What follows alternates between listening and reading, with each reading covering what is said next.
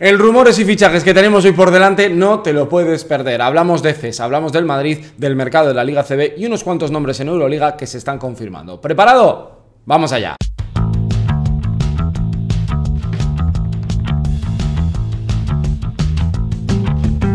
Muy buenas, bienvenidos a mi canal. Hablemos de básquet, hablemos de rumores y fichajes y hoy con un vídeo eh, muy especial, con un vídeo con muchos nombres, con mucho movimiento. Eh, la verdad que esta semana de julio se están empezando a concretar unas cuantas cosas y hoy, para que os hagáis una idea un poco del menú, como la carta de los restaurantes, Panathinaikos, Fenerbahce, Valencia, Virtus, Efes, Estrella Roja, Partizan, Svel, Juventud, Unicaja, todo esto y Real Madrid además con el rumor de las últimas horas eh, que ha saltado, pues vamos a comentarlos y los vamos a analizar aquí, por supuesto, en el canal. ¿Qué tienes que hacer? Aparte de quedarte hasta el final del vídeo, porque eso ayuda mucho, de verdad, estar atentos, también comentar y suscribiros, porque el objetivo es llegar a 60.000 al final del verano. Ayúdame, que no te cuesta nada, que es gratis y es ese botón de suscripción de, de ahí abajo. Bueno, la verdad que son rumores y fichajes, ¡buah! Eh, brutal, ¿eh? ¿eh? He intentado hacer uno a principios de semana, pero me veo la obligación de hacer otro antes de afrontar el fin de porque hay mucho que, mucho que contar. Mira, vamos a empezar, por ejemplo, hablando de Virtus, que confirmó ayer dos incorporaciones súper interesantes y así lo vinculo luego con Efes, ¿vale? Eh, porque Virtus en una misma tarde cerró sus cinco con Jordan Mickey, y con Ismael Baco. Ismael Baco ha sido una de las sensaciones de Manresa esta temporada, con Chima Moneke, Joe Thomason, que ha ido a Zenit de San Petersburgo, Moneke de momento, en el momento que grabo el vídeo sigue libre, Ismael Baco, jugador interesantísimo que va a dar profundidad en el postjuego interior. Ya vuelve a la Euroliga después de un año en, Manresa, había estado en Asbel. Y el otro es Jordan Mickey, que siempre es este jugador que cuando la gente piensa desde la CB eh, en Jordan Mickey piensa que no lo hizo bien por su etapa en el Madrid, pero siempre que ha jugado en Euroliga ha rendido hecho muy buenos números. Vas a tener muy mala suerte también en algunos equipos que ha estado. Ahora el Zenit con la guerra, en el Hinky no pagaban a nadie. Eh, tenido muy mala fortuna en algunas decisiones. Me parece un lujo de interior que combina muy bien con Toko Sengelia y que les puede dar ese salto de calidad en el puesto de 5 para afrontar el reto de la Euroliga. Además, un pío muy móvil, buena mano, intimidador, creo que es un jugador bastante completo.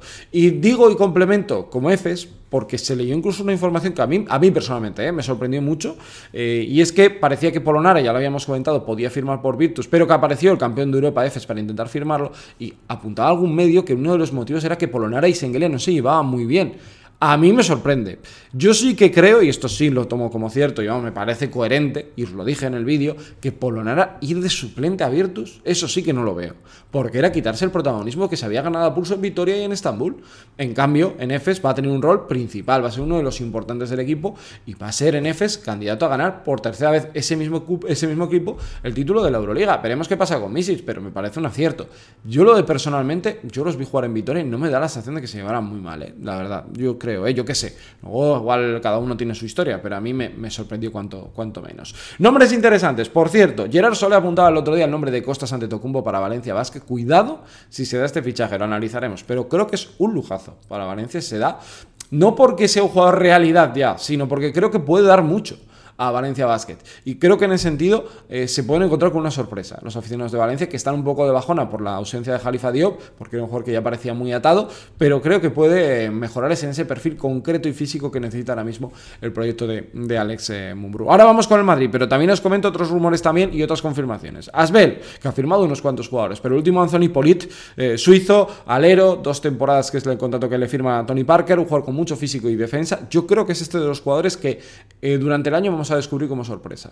Asbel está firmando también jugadores poco conocidos, un poco volviendo a la esencia del año anterior, no de este último, con eh, jugadores como Elio Cobo o Bayama, apuesta por jugadores un poco más sorprendentes, pues bueno, este chico para la posición de alero ayuda. Partizan se ha vuelto a mover en el mercado, bastante rápido, firmando a quién? Alex de Maccabi, ex de Fenerbahce, James Nanali, un soldado de Celko Bradovic que ya lo ha tenido en Estambul y que es un gran tirador para la posición de alero, superando con creces a Rodion Skurus, que fue dado de baja o desvinculado hace tiempo, al igual que Rade Zagorac, que tampoco está ya en el mercado. Yo supongo que equipos Eurocup o BC querrán firmarlo. Nanali es un gran tirador, creo que además defensivamente es muy bueno para la idea que le gusta a Celco y junto a Dante creo que es un salto de calidad en esas posiciones exteriores para afrontar el paso a la Euroliga.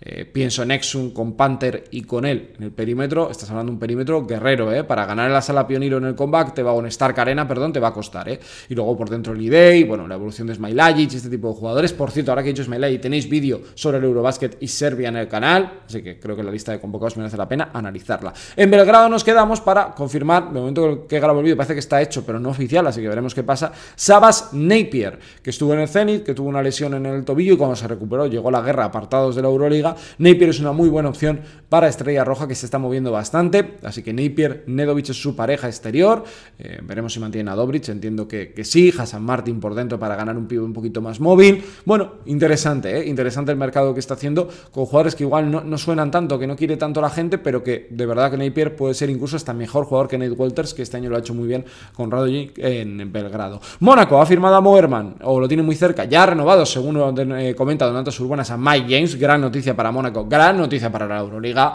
James es un jugador espectacular y a mí eh, me alegro mucho de que esté, y Panathinaikos eh, con Walters atado, Singleton cerca y Marius Grigonis también, que en el momento que grabo el parece que está prácticamente hecho y que se puede anunciar, incluso ya en el momento que lo publico puede estar hecho, se dice que ha pagado 350.000 eh, euros a CSK de Moscú para desvincularlo y Grigonis llega para ser el salto de calidad definitivo para Panathinaikos que quiere volver a estar muy arriba en Europa. Por cierto, el fin de semana tendréis un vídeo especial sobre el baloncesto griego, ¿vale? Para que estéis atentos y os quedéis porque eh, necesitamos vuestro apoyo con ese tipo de contenidos. Y antes de ir con el Madrid, también cerrar capítulo Euroliga, Fenerbahce, eh, ya se comentaba diferentes medios, por ejemplo, también desde Eurohoops, que Calates lo tiene hecho con Fenerbahce, pero que todavía no ha cerrado capítulo Barça y que Niger Hayes puede ser el siguiente en firmar. Real Madrid y Corneli, que hemos llegado a este punto del vídeo. Eh, Donatas Urbonas despertaba esta mañana a todo el mundo diciendo que el Real Madrid ya había elegido cuatro y que se llama Pete Corneli, un jugador que ha sonado mucho. Os dejo vídeo aquí en el canal para hablar. Eh, hicimos hace unas semanas, o meses mejor dicho, hablando de, este jugador galo.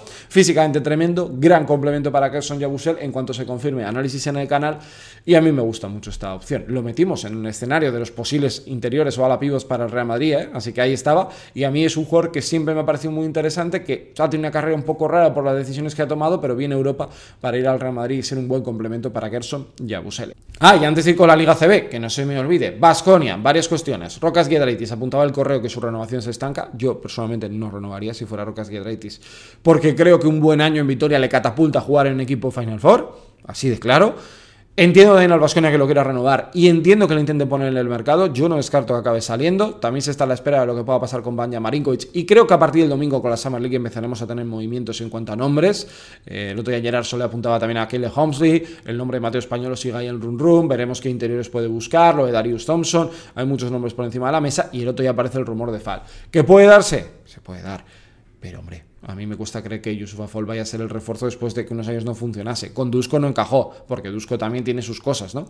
Pero eh, creo que no es tampoco el jugador para cambiar la dinámica del Vasconia que necesita un fichaje top en el juego, en el juego interior. Y vamos cerrando el vídeo con cuestiones de la Liga CB. Juventud de Badalona, que se está empezando a mover y bastante bien. Supo que Derek Willis se va a Venecia, ya confirmado.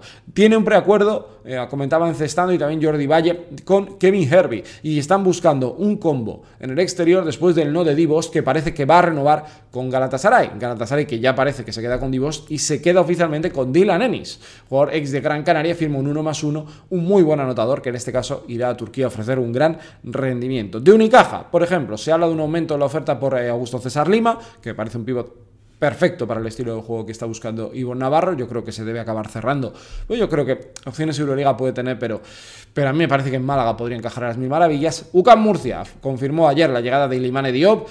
Ya sabéis que con Ilimane Diop pues me une el vínculo de haber entrenado con él dos temporadas en su época de formación. Creo que puede ser un buen lugar, creo que Sito le puede ayudar y creo que el estilo de juego de Murcia le puede venir muy bien y puede hacer camino en Murcia, ¿eh? de verdad lo creo. Si él se se encuentra, eh, puede funcionar muy bien, porque es un chico realmente interesante. Y para terminar, eh, eh, Bilbao Basket ha, firmado a Kisser, un jugador interesante para el juego interior, así que parece que los de Jaume Ponsarnau, con piecitas poco a poco, a la espera de Damien Glee, pues están tratando de, completar bien el roster. Pues hasta aquí el, el, rumores y fichajes del día de hoy. Espero que os haya gustado, un análisis diferente. Ya sabéis que siempre con alguna actualización, algún movimiento extra, pero es lo que toca en estos momentos de mercado, así que aquí lo tenéis con mucho contenido en el canal. Os viene un fin de semana cargado ¿eh? de cositas, así que espero que estéis eh, por aquí para disfrutarlo todos juntos. Nos vemos en el próximo vídeo. Hasta luego, adiós.